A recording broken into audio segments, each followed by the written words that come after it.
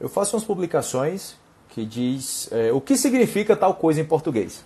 Essas coisas eu já expliquei no, nas histórias do Instagram. Sendo que as histórias desaparecem 24 horas e tem pessoas que esquecem de ver e perdem a oportunidade. Então eu coloco essa publicação para que vocês possam descobrir como uma missão, um exercício, possa descobrir o que é o significado, né? De, eu coloquei aqui na outra, brochar, atolar, camarote, jogo de cintura também, né? Fala aí, pessoal que tá chegando, Silvana, quem mais? Benjamin, Danifer, Mateu, Andy, Clau, Luli, Andy, Reinaldo. Fala aí, pessoal, como é que tá? Tudo beleza? Vão compartilhando aí, ok? As palavras que vocês aprenderam nessa semana, ok? Novas palavras. Para que vocês possam ajudar outras pessoas também. Ernesto também. Então, galera. Fiz umas publicações aí também de comparação, né? De sua expectativa com a realidade no Brasil. De se você, no Brasil, se você falar presunto, as pessoas vão pensar que você está falando de Ramon. Se você falar polvo, polvo, polvo, as pessoas vão pensar que você está falando pulpo. Então você pergunta, caramba, como assim? Ou seja, porque a pronúncia, ou seja, não é a mesma. Polvo e pulpo não é a mesma, mas é o mais próximo. Se um brasileiro que não sabe espanhol escutar você falando portunhol e você falar polvo, eu vou entender polvo, povo, com pulpo, entende? Então eu vi que a galera gostou muito aí desse, desse, dessas publicações com essas comparações porque acontece toda hora, ok? E aí continua aparecendo mais e mais palavras. Eu lembro exatamente o dia que eu aprendi essa palavra presunto. Eu estava no restaurante, almoçando. Eu não vejo é, jornal, né? Notícias, tá, essas coisas. Mas às vezes está no restaurante e está lá passando. E tava lá passando, né? No, as letrinhas lá, tá, tá, tá, tá, tá. E eu olhando e apareceu presunto. É, foi não sei o que, não sei o que. E eu, presunto, que é isso? Eu perguntei o que era presunto e me falaram que era é, sospechoso. Eu falei, você sabe que presunto em português é Ramon. Ah, é sério? Caramba, que estranho. Ou osso. Vai lá, osso. A gente vai entender hueso. Osso, hueso. Ah, urso. Entende? Ou seja, é uma pequena diferença aí, ok? Palavra nova. O pessoal está compartilhando aí palavra nova. Faminta. Faminta é o quê? Você está com muita fome. Você está faminto, ok? Estou com muita fome. Nossa senhora. Vamos ver aqui. Mais, mais galera. Pessoal entrando aí. Façam perguntas também, ok? Palavras que são falso, falsos amigos. Eu estou aqui para responder, ajudar no que for possível, ok? Outra também aqui que eu, que eu coloquei hoje, dedurar uma pessoa é você denunciar alguém, ok? Você dedurou, é tipo dedurar, ó, oh, foi ele, foi ele que fez isso aqui, entendeu? Você está dedurando. Ok, uh, Agus falou aí, ancho, é também, ancho que é Tipo, largo, né, em português. Não, não, não. Ah, caramba, agora eu confundi. Pera aí. Agora eu tô enrolado que eu tava fazendo o material justamente com isso hoje. Ancho é largo. É, é tipo. ok. Esse telefone aqui não é, é, não é largo, né? Ou seja, ele é fino, não, não é largo. Mas, se eu colocar isso aqui, é claro, é muito mais largo, né? Olha a diferença da largura, né? Então esse é um pequeno detalhe que a gente tem em português que, que o pessoal se enrola muito. Largo, ancho, né? Essa já confunde muito. Escova. Ah, Snyder! Fala aí, cara, belezinha? Saudades das reuniões do Zoom. É verdade, né? Eu vou fazer outra reunião com a galera para a gente praticar. Foi muito bom as últimas que a gente fez. Muito da hora. O Nutrina, Nutrina, Nutrinati, o que significa estar no Catar? Está no Catar? Não sei, eu nunca vi isso. Não conheço. Ainda não. Talvez tenha coisa nova aí.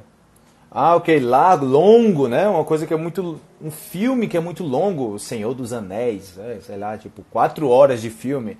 É um filme muito longo, né? Tipo, distante, assim, longo.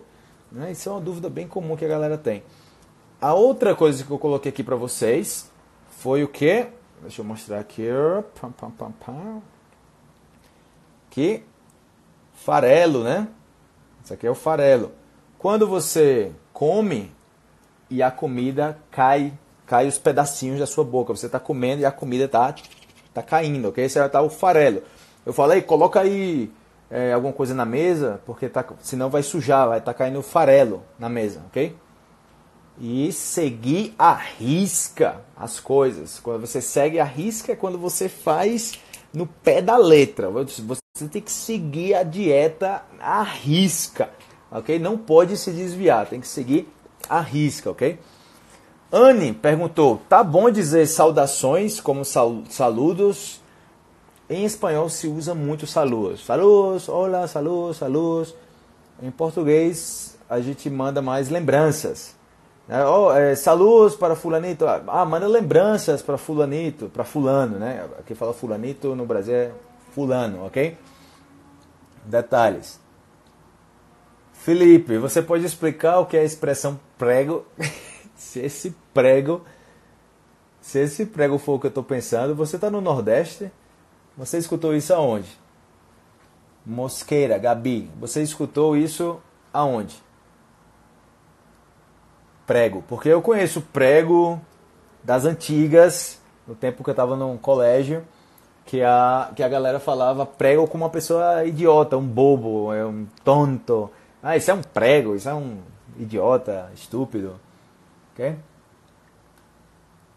No Kelsey, fala aí Kelsey, da Colômbia, belezinha? Ah, Kelsey aqui, ó, tá com seu presentinho aqui, viu? Eu ainda estou usando. uh, ok, você pode me explicar a seguinte expressão: no quesito golpe perfeito. No quesito, na questão golpe perfeito, tem mais contexto nisso aí? Porque a gente fala muito nesse quesito, como nesse quesito, nesse tema, nesse assunto. É tanto que nas provas, quando você vai fazer uma prova em português, você tem os quesitos, que são as. Que é muito estranho falar isso. Quesito. Quesito. São as perguntas, são os quesitos, são os quesitos. Então, nesse quesito, assim, nessa pergunta, tal coisa. Então, pode ser. Eu não sei qual é o contexto completo aí, Kelsey, mas é, a expressão quesito, no quesito golpe perfeito, eu não sei, tipo, tem que ter um, um pouquinho mais de detalhe aí. Nutrinati. Hoje estava assistindo a TV e escutei rebolar no mato. O que é? Qual era o contexto? Ou seja, rebolar no mato, rebolar é você mexer a bunda, né? Você tá mexendo assim. Mas no mato, é quando você tá no meio da. Não na selva, assim, é no meio do mato você tá. Num lugar que não tem muita construção. Tá no meio do mato, assim, tá tipo metido por aí, escondido, rebolando no meio do mato. Rebolar no mato. Nossa. Deixa eu ver mais aqui. Mais. Ok. Reinaldo, correto, ok? Prego realmente é, é claro. Claro. Mas tem a expressão também, ok? Uma pessoa prego. Você é de qual parte do Brasil? Sou do Nordeste do Brasil, Paraíba. Pergunta técnica. Quem está perguntando aqui? Olha, pergunta técnica. Que é essa? Mariane. Zaga? Ah, zaga de futebol? De zagueiro? Eu, eu, eu jogo na zaga como zagueiro? Será que é isso? Futebol? Qual é a palavra para dizer mau cheiro nas axilas? suvaqueira, ok? Tá fedorento, fede, suvaqueira. Eu fiz um vídeo sobre isso, ok? Explicando situações incômodas em português. Tipo, quando a pessoa está conversando com você e tem um, uhum, uma, um presentinho aí dentro do nariz, aí você tipo fica, eu falo, eu não falo. Se eu não falar, eu não serei um bom amigo, mas se eu falar, vai ser uma situação incômoda. Então, como é que você fala, né? Ok, vamos lá. Mas Buenos Aires. Quem é? Moje Alejandra. Fala aí, Suzana Machado. Beijos desde o Rio de Janeiro. Aí, beijos desde a Colômbia, Medellín. Ok, beautiful, beautiful flower. 2025. Felipe, como se diz algo está estranho, raro? Ah, algo está estranho. Algo está esquisito também. Algo está estranho, algo está esquisito. Não, não sei, esse negócio está muito estranho aí. Não está dentro do normal. Leonardo, olá, olá Felipe, estou aprendendo é, português, português com você. Beleza, valeu, cara. Quem mais? Quem mais? Mais perguntas aí, galera. Não fale, eu vou pegar meu caderno, disse Sênia. A língua portuguesa é muito linda. Ok, falando de língua portuguesa, eu realmente acho que português é muito bacana. Quando eu escuto uma mulher cantando em português, é, é muito, sabe, tipo, confortante. Você escuta essas músicas assim, um reggae também, sabe? É, tipo, tem um som muito agradável. Você conversar em português é um som muito agradável. É um bacana.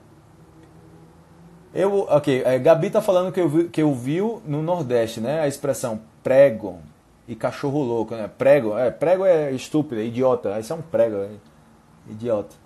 Ok. É, Scorp 9107. Você colocou aí esquisito igual estranho. A gente tem uma expressão em português também que você pode usar, que é tipo, aqui na rua que eu moro aqui, geralmente não está esquisito. Geralmente tem muitos carros passando, tem muito movimento. Então você também pode falar que uma rua tá esquisita, ok? Essa, ei, não vá por aí nessa rua não, que é muito esquisita. É uma rua esquisita. Não quer dizer que é perigosa, ok? Não é que ah, a rua é muito perigosa, não sei o que. Não, não é que. É fumar. Tô arrotando aqui, né? Esse é o bom de fazer ao vivo. o detalhe é que esquisito não é necessariamente perigoso. É simplesmente não tem ninguém. Entendeu? Tá esquisito. Cheguei no restaurante, estava muito esquisito, não tinha ninguém. Tava um mosqueiro também a gente fala, só tinha mosca. OK? Vamos lá, mais perguntas, galera. Obi-Wan Janobi, uma meleca, isso aí. Ok, diferença, Gustavo Masso. Qual é a diferença entre curto e comprido? toda. Curto, comprido. Comprido, na verdade, ok? Comprido. Porque você tem cumprido, de cumprir com alguma coisa, você tem algo comprido, de comprimento, ok? Então é diferente. Ah, My Violin. Oi, da Arizona, Estados Unidos. Fala aí, beleza? Valeu, galera aí que está sintonizando, perguntando, participando. Quanto mais vocês perguntam, mais vocês aprendem, ok? Essa é a ideia. Essa é a ideia. Nas, nas aulas particulares que eu dava, né, que faz um tempo que eu estou sendo aula particular, mas eu sempre fazia todo o possível para que as pessoas participassem, porque é uma vantagem para todo mundo. Então, quanto mais vocês participam, mais as pessoas aprendem, ok? Ismael, quantos, quantos anos você demorou para aprender português? Sei lá, uns dois anos, eu sou brasileiro, ok? O pessoal pensa que eu sou colombiano, que eu só falo da Colômbia. Aí pensa que eu moro na Colômbia, sou colombiano. ah, a música brasileira é melhor. É bacana. Calfreo. Jenny, não estou conseguindo escutar. Verifica aí o teu volume, se está mudo o celular. Uh, eu quero saber o uso da palavra mesmo. Sambrano, eu já gravei um vídeo falando sobre isso, ok? Tem muitas coisas que eu já expliquei nos vídeos e vocês podem procurar no YouTube. Só é digitar lá, acessar o canal e digitar o que vocês querem para ver se encontram. Smile, Smile está toda participativa aqui, né? Qual é a sua palavra favorita em português e espanhol? Bom, em português, beleza, né? Porque já, já é clássica. Em espanhol, chévere. Muito chévere, que chévere. Ai, que chévere. Acho que chévere, eu acho. Assim, pensando assim rápido, acho que chévere. Ah, ok. Oscar, boa pergunta, cara. Gostei muito dessa pergunta. Oscar Javier. Oi, Felipe. A expressão dormir um bocado, pode me explicar? Esse pode me explicar é separado, ok? Pode me explicar? Ah, quero saber a canela. A coisa... Gisele, daqui a pouco eu respondo aqui o seu, ok? Oscar, dormir um bocado é dormir muito, ok? Eu dormi um bocado ontem, dormi muito, muito tempo. Beleza? Romina, Mosqueiro, sim, é isso aí, o Mosqueiro aí, não tem ninguém. Jo, Gisele Martinez, eu quero saber palavras carinhosas que se usam no Brasil. No Brasil, ah, tem alguém apaixonado por aí, hein? Aham, quer conquistar aí, tá em modo conquistadora. Eu fiz uma publicação no, no Instagram sobre essas palavras, ok? Palavras de carinho para você falar aí com seu parceiro ou sua parceira. Estou procurando aqui, cadê, cadê, cadê? Faz um tempão. Tem muita publicação no Instagram, muito conteúdo, mas tome o tempo de ver as publicações que eu tenho certeza que vocês vão aprender muitas coisas, mais muitas coisas. Aqui achei. Olha só, Gab... Gisele Martinez, aqui tá apaixonada aí. Olha aí, ó. Palavras de carinho em português para lá para Ok? São várias, tá? Tá no Instagram, beleza? O que, que foi que aconteceu? Cadê? Travou. Não, eu pensei que tinha travado aqui. Qual palavra você acha que é mais difícil pronunciar em português? Hum, boa pergunta. Eu não tenho essa lista de palavras difíceis agora. O uso da palavra mesmo, já fiz a explicação. Ah, ok. É, Selene. Felipe, quando cheguei aqui na Paraíba, o povo achou muito engraçado quando eu comecei a falar oxente. É uma expressão muito comum na Paraíba, ok? Oxente. Eu falo ox. Eu falo oxente. Ox. Ox. Oxente. É ox. Ox. Calma, é? Que? É bem estranho. Ah, deixa eu ver aqui mais perguntas. Valeu, galera, tá participando. Participando muito. Caramba, tá que, que é isso aqui que está acontecendo? Peraí. Ah, ok. RSSS, RSRSRS é um jeito de rir, como, como kkkk. Verdade, é tipo risos, risos. Ah, sim, né? Isma, Ismael. Ah, ele fala muito bem. É, eu falo porque eu sou brasileiro, mas não é porque eu sou brasileiro que eu falo bem português. Você pode conhecer pessoas que são brasileiras e falam muito mal. Primeiro, você pode falar corretamente mas você não vocaliza bem as palavras. Você não comete erros gramaticais, mas não não dá para entender bem o que você fala. Uma pessoa que fala assim, que, que não abre a boca para falar, que não vocaliza, então é uma pessoa que não fala bem. Depende para o que você necessita, né? Se você precisa de uma pessoa para falar em público, você vai, você tende a procurar alguém que se expressa bem em público. E tem a outra coisa, de pessoas que vocalizam bem, perfeitamente, mas usam palavras é, é, gramaticalmente, né? Falam as frases erradas, né? Como é, nós vai sair, nós ramos para não sei onde, para não sei aonde, não sei o que. Cara, tá errado, não se fala assim. Detalhes, ok? Ah, your, your, your favorite cacheada. A minha em espanhol é tuani. Esse, esse tuani não é de, não é de tico. Essa palavra é muito colombiana. Assim, pura vida, pau, Saludos, ticos e ticas. Ok, já enxergou. Ah, já enxergou. já explicou a diferença Max Power Best.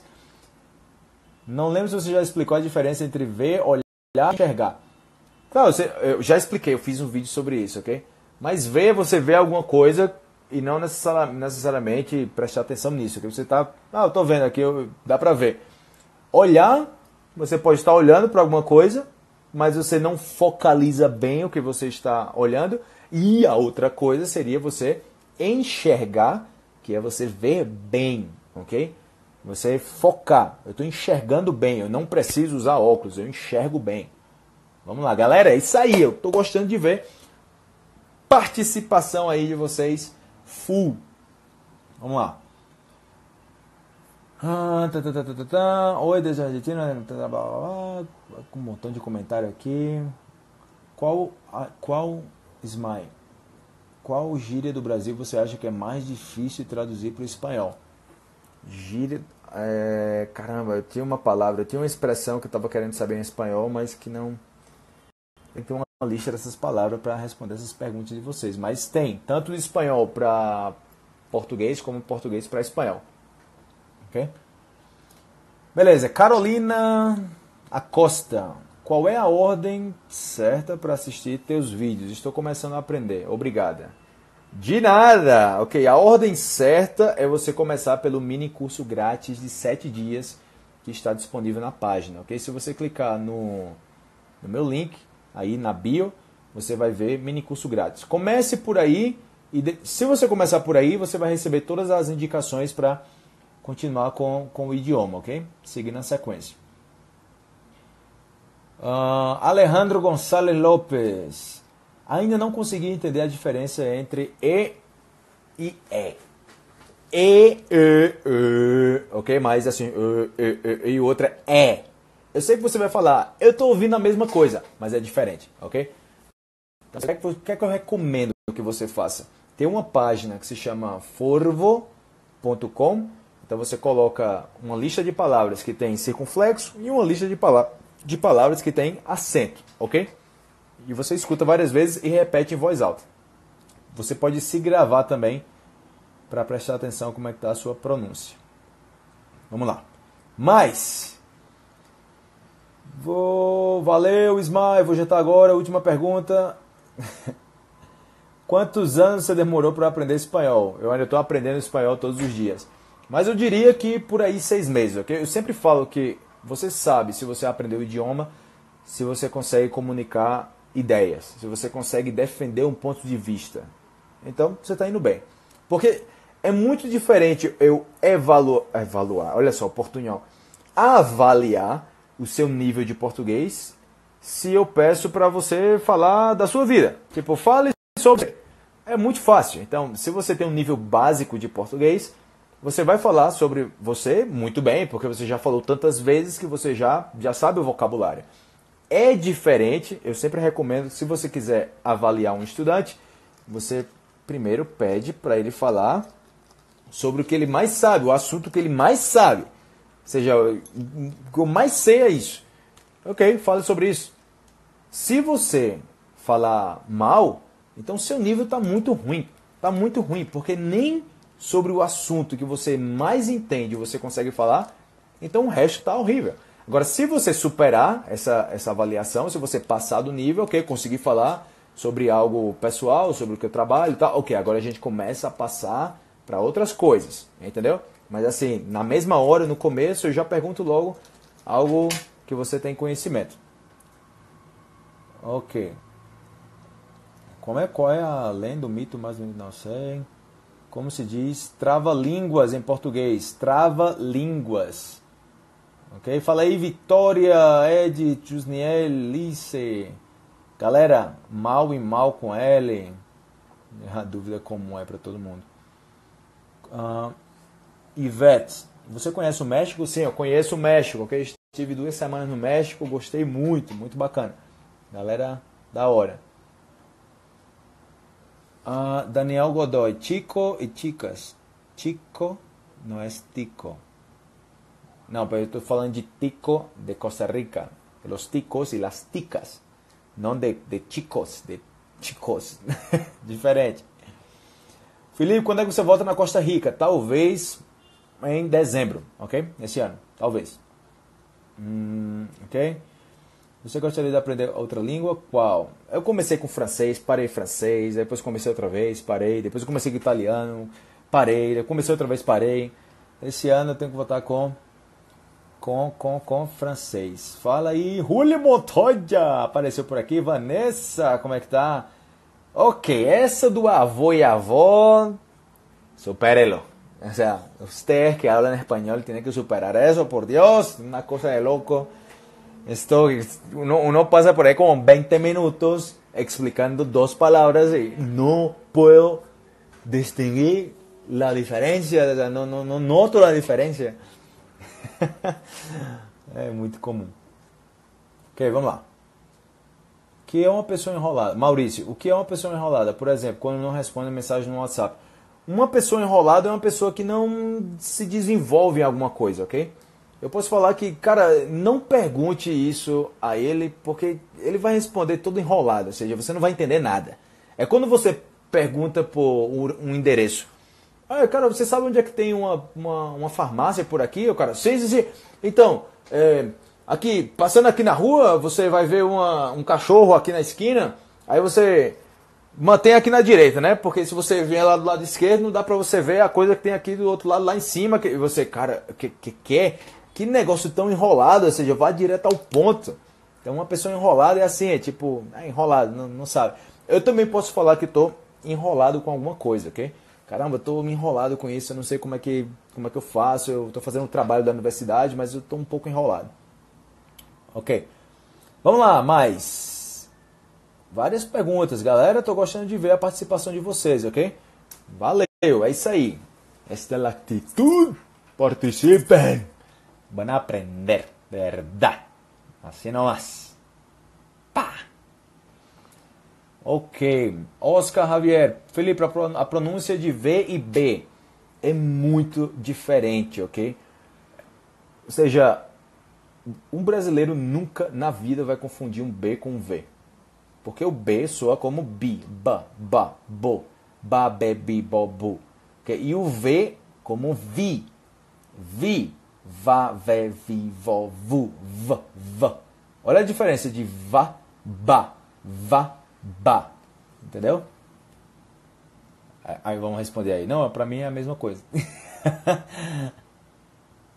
ah, tá, tá, tá, tá, é verdade. Uma vida inteira para falar avó é avó, é verdade. É, Juliana da 97. Boa noite, Felipe. O que é curtir? Curtir é você gostar de alguma coisa, ok? Vocês estão curtindo os meus vídeos aí no Instagram, estão curtindo as publicações. Todo dia eu estou pensando em coisa nova para trazer para vocês, ok?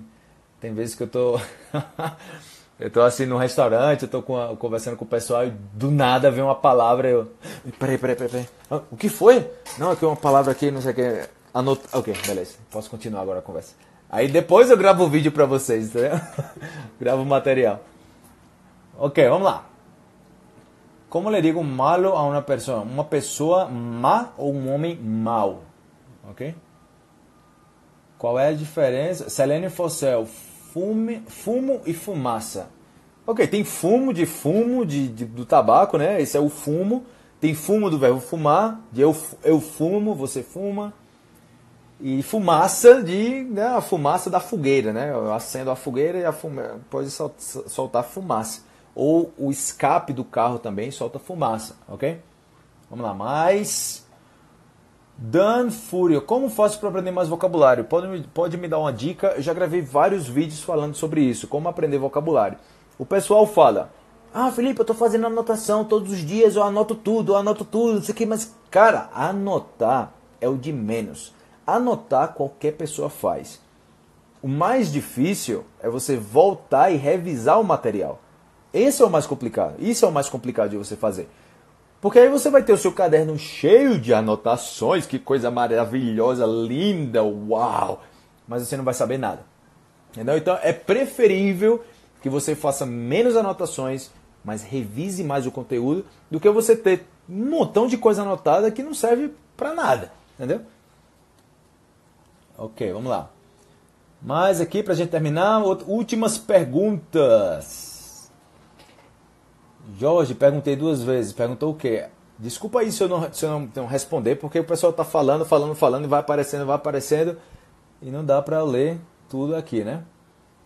Ah, eu pergunto, por fim, Felipe, ao vivo. ao vivo em, em a cores, né? Isso. Kelsey, diferença. B tem uma pronúncia labial e V tem uma pronúncia labidental. Nunca tinha escutado essa palavra. Toda formal, hein? Vamos lá. Caldeirão.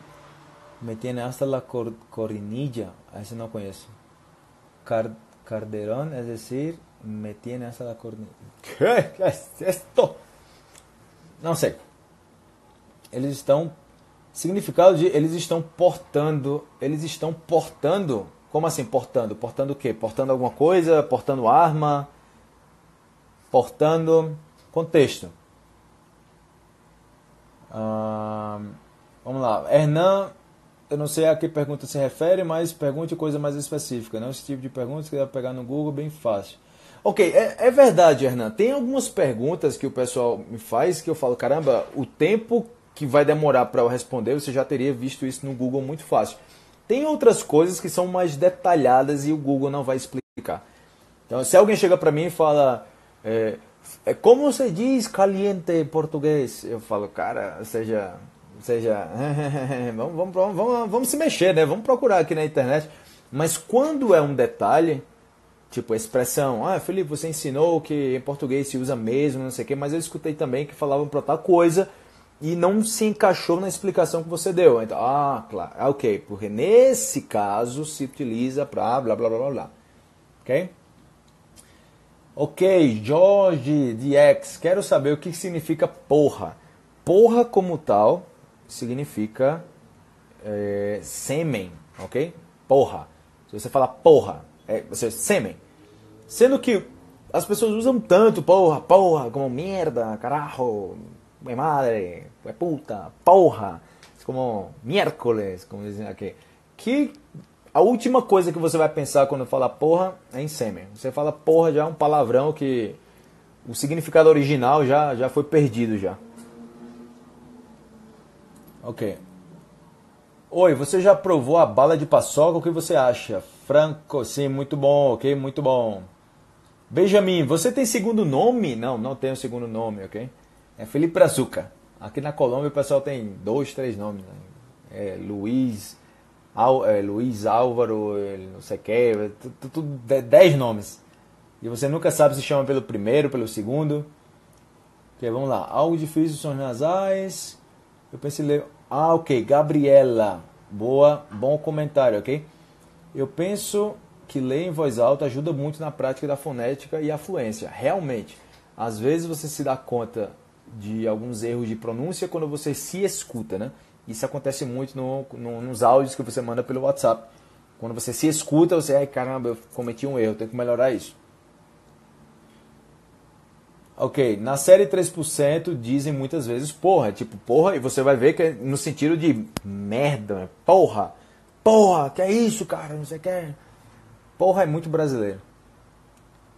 Ok, vamos lá, vamos lá, vamos lá. Última, última, última. Aqui para finalizar.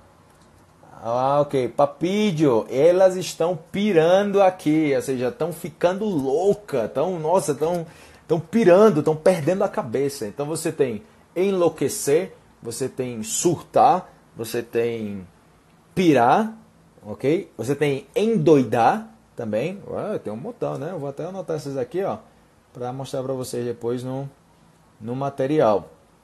É isso que eu faço. Eu vou, vou gerando aqui o conteúdo na hora, ok?